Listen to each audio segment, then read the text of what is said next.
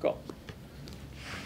Um, hello, everyone, and um, you're welcome to this uh, roundtable directors discussion. My name is Kevin Joseph, and here with me is Aaron Fruito. I'm and, Aaron Lawrence, and uh, my nickname's Ghost.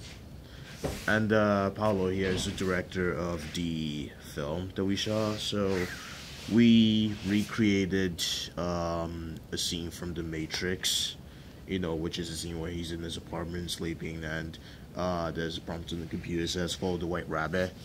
So, um, so the first question is, how useful was the video essay, or AKA Task One? How did it help to understand mise en scène and basically to plan this whole entire shoot? Uh, I think it was very useful because uh, that, I think it was very useful because uh, like it gave me an understanding of how to like analyze mise en scènes and like shots and stuff and to do with color. So like got me a basic understanding of mise en scènes and stuff. Yeah. Yeah.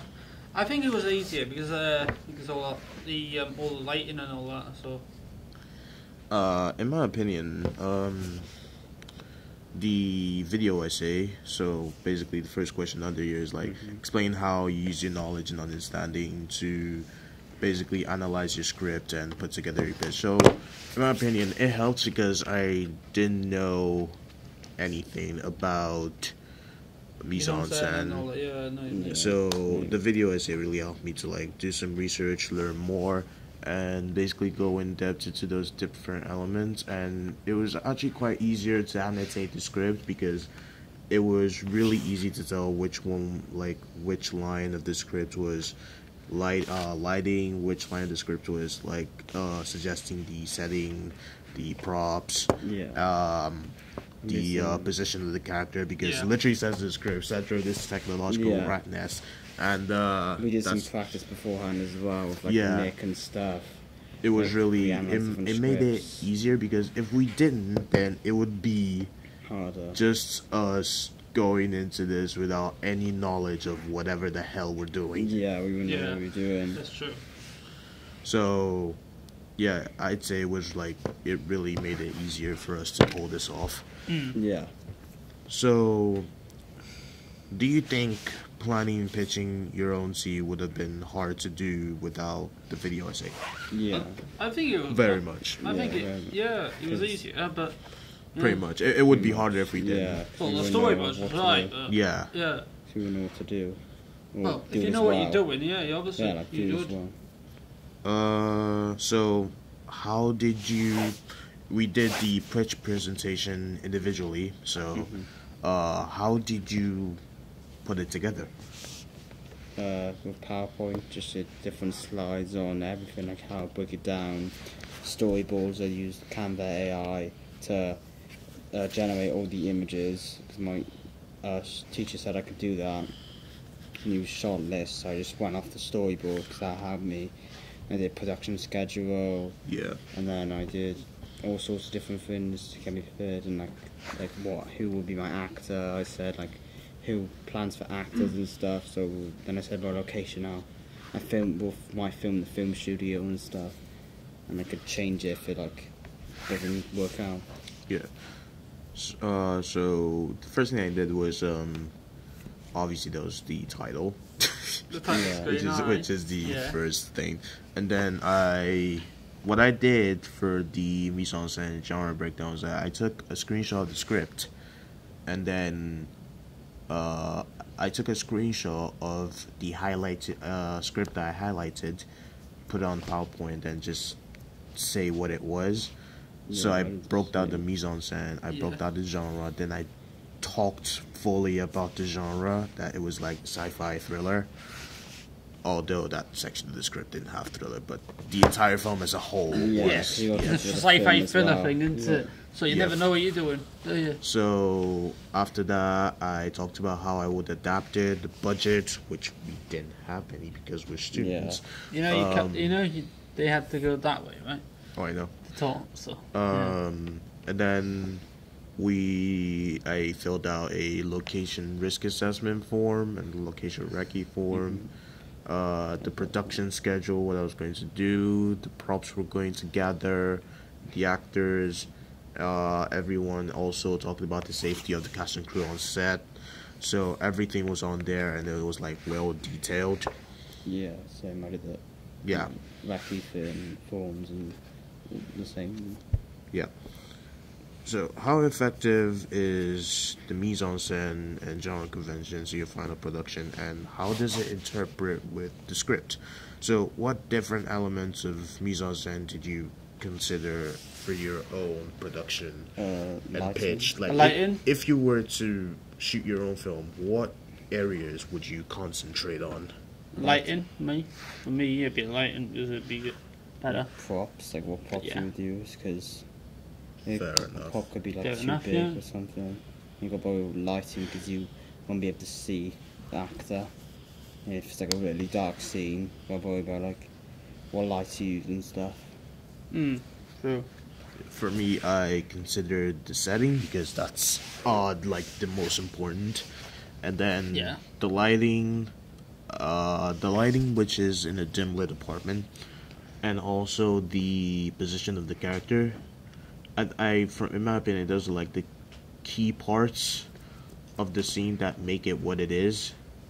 So, yeah, that's but that's for me. Yeah. Mm.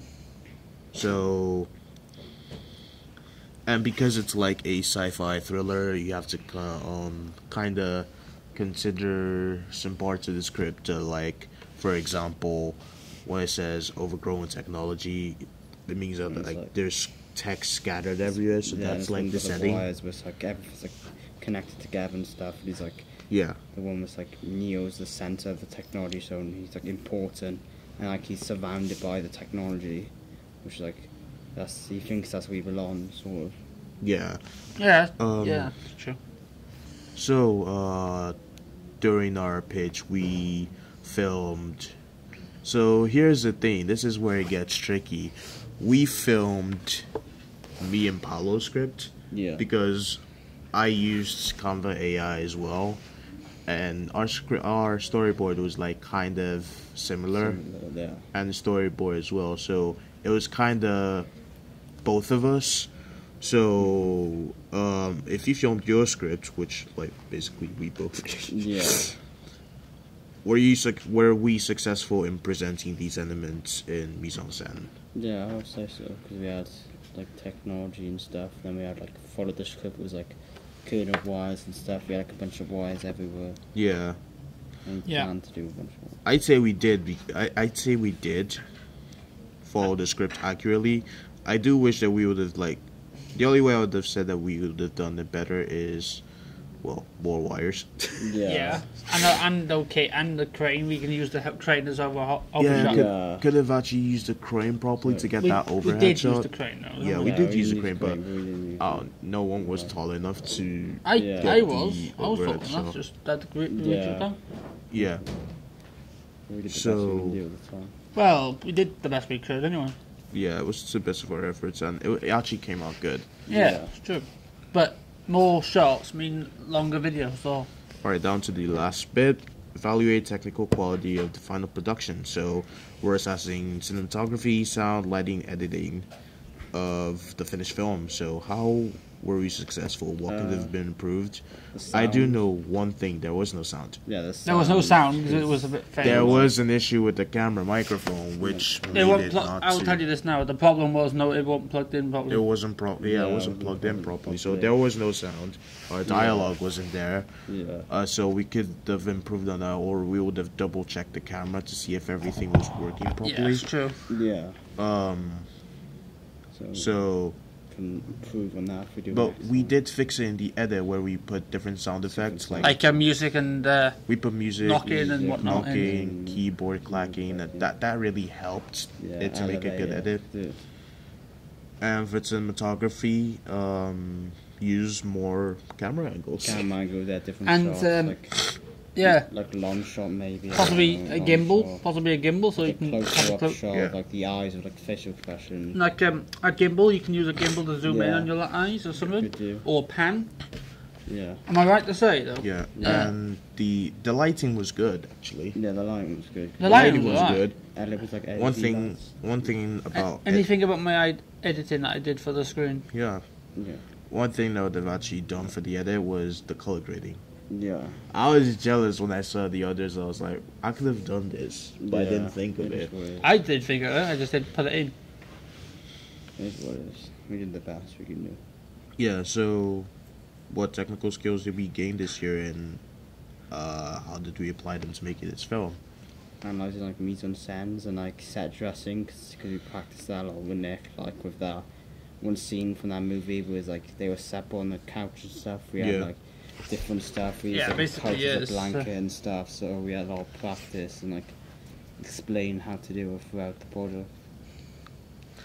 Uh, technical skills, as in, so beginning of this year, we learned how to set up the camera, set the camera. uh, set the exposure. exposure, Uh, I actually learned how to edit back in level one, so Yeah. it's basically just brushing up my editing skills. Some Um, people who's new to the course learn how to edit. Learned how to set up the camera, learned how to uh, just brushing up my editing skills, learned how to set up lights the way I would want it for Mhm. uh, depending on the film I'm making. And learn how to like make sure the camera settings are fine, like Yeah. yeah. shut speed and all sorts. But I would improve on my camera work and lighting. Yeah. Yeah. There, there's always like improvement for that. There, there is no like, oh, you're a master at this. Yeah. It's always like improvement, Well, improvement, yeah. improvement. I was about to say that. Yeah. Like, I'm quite experienced with cameras, so yeah. Fair enough. So yeah, that's all we have for this roundtable discussion, and uh, I hope there is a next one. Possibly will. You never know. It's like a podcast as well, not a video though. Yeah.